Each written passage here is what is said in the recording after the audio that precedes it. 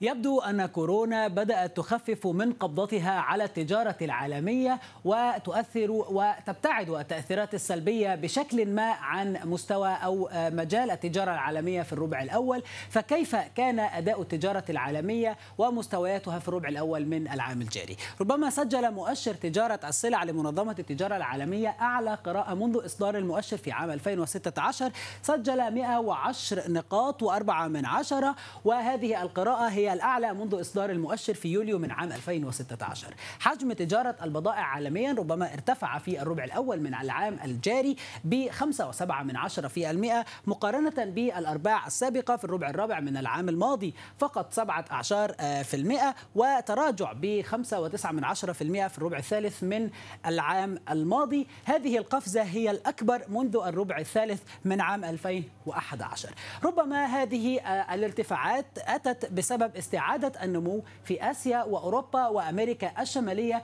بالنسبة لمستويات التجارة العالمية. كيف تبدو مكونات مؤشر تجارة السلع في يوليو؟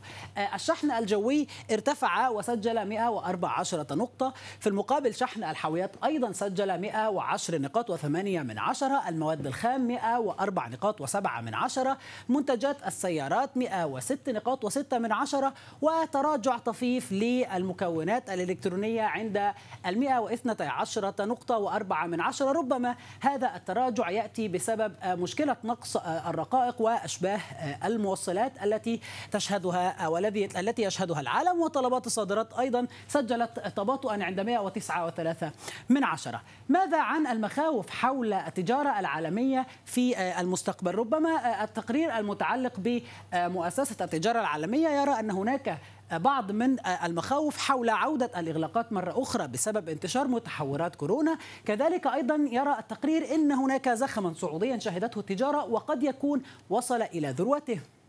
هناك أيضا اضطرابات نراها في سلاسل التوريد كما نشاهد في الصين بعد حالة من إغلاقات بعض الموانئ لانتشار متحورات.